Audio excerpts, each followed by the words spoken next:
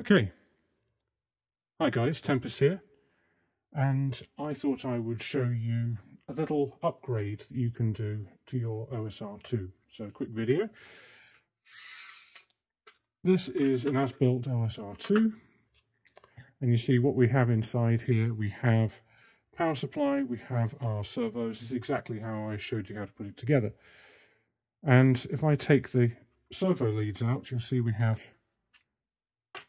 two servo leads and the power supply comes straight from this power supply here to these blocks. And what the blocks actually do is they power these ring these um pins here. I just get a screwdriver. So if you look closely this one here this red one this red one those are powered from here.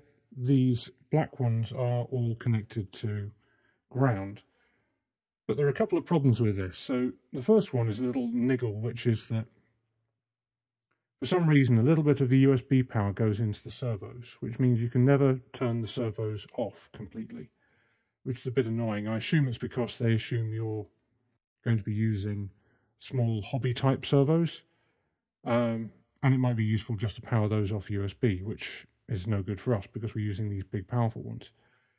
And the other problem is um, there are some of you who want to use quite powerful servos here that are going to draw a lot of current and you want to get a lot of powerful use out of them. And the problem with that is the power has to come from this lead here through this block and then it has to run through tracks in the Romeo itself to these pin rails. And the problem with that is that those tracks aren't particularly large. And that means if you put a lot of power through them, they're going to heat up and you might end up burning them out. So I've got a modification that you can do to the OSR2 that will solve both of these problems. I call it the power user upgrade or the, the external power bus. So let me show you what that looks like.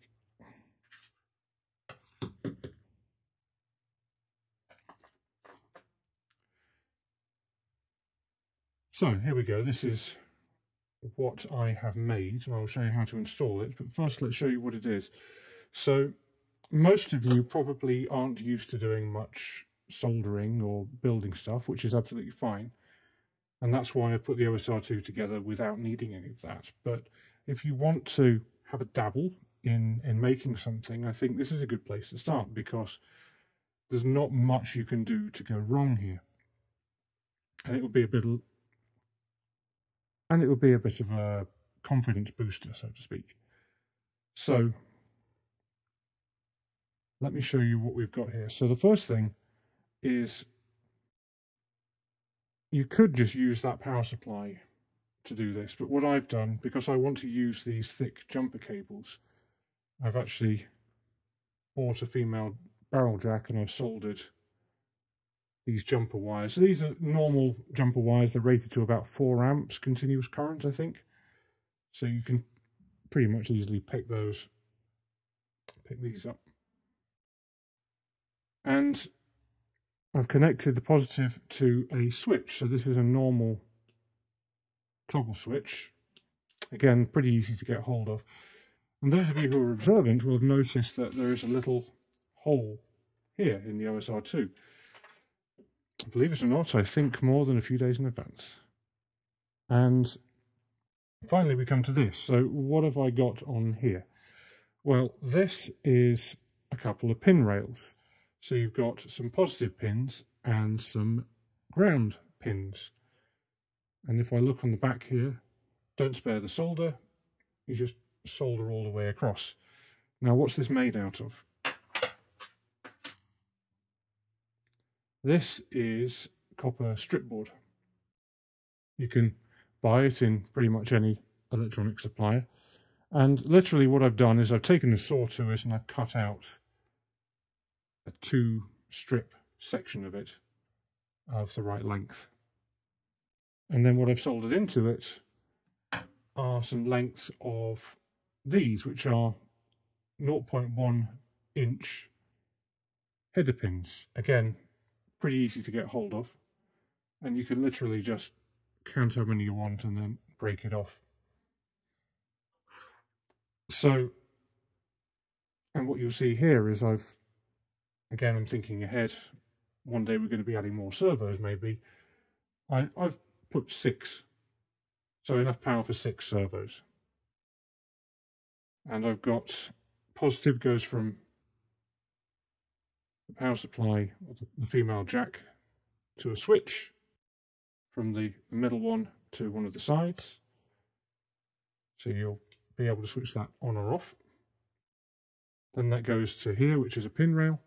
And then on here, I've got ground, which goes to this.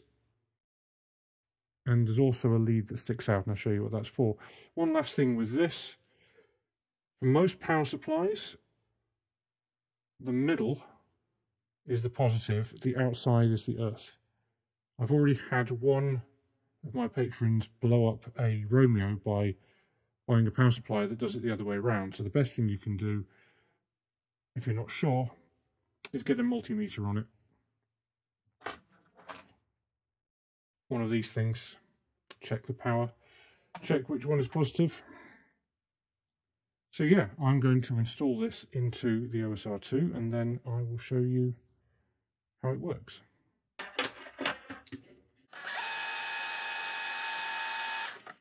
Okay, so you can see here, power supply goes, the female barrel jack goes where it was, but this is the new one.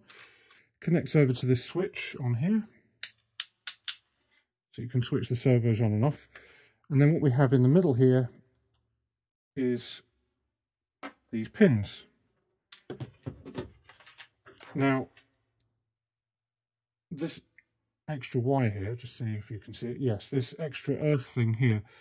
What we're going to do is we're still going to be plugging the servos in here. So to complete that circuit, we also need to connect from this ground lead and these ground pins to the Romeo. That's an important thing, otherwise nothing's going to work.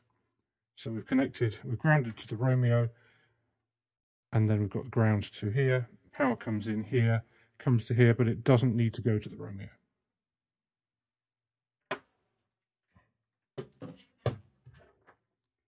Next we're going to look at this. So how do I plug these in?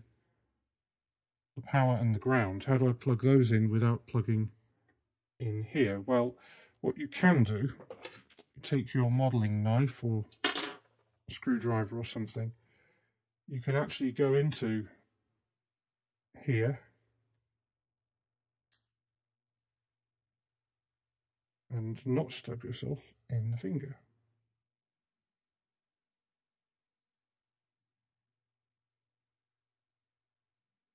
So that comes out. So you can connect that wherever you want to. So I will connect this up here. Make sure you get the red to red, black to black. That's plugged in there. And this is the left servo, so the left servo will plug in to channel number two. There's one number two. Now, you can just plug those in as bare metal, although there's a risk of that because the two servos might end up touching each other. So with this and you've got a couple of choices. One of them is, this is black electrical tape. You can pull it out, wrap it round, and that will uh, prevent it from shorting on anything else. What I'm doing, you can actually buy these. These are, uh, not sure what you'd call them, like pin protectors, maybe jumper wire covers or something like that. But this is basically a one pin version of what you get on the end of a servo. So I'm going to pop that on there.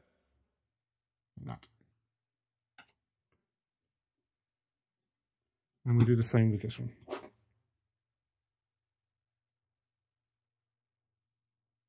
Helps if you push the pin inwards, get under that little hook.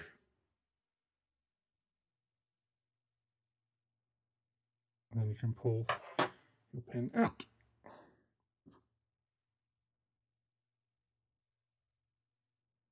As I say, don't feel you have to get these, you can just put a bit of tape around it. Sellotape will do the job. Sticky tape.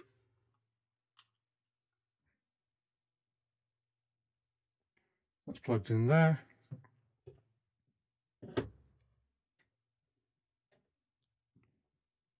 And these plug in here. So the last thing I would say is if your servos have metal bases, you want to be sure that this doesn't end up fouling. These are plastic based servo servos, so I'm less worried. But you don't want these pins to come into contact with anything metal. So again, tape is your friend. You can wrap it around just to make sure everything's insulated. But yeah. And that means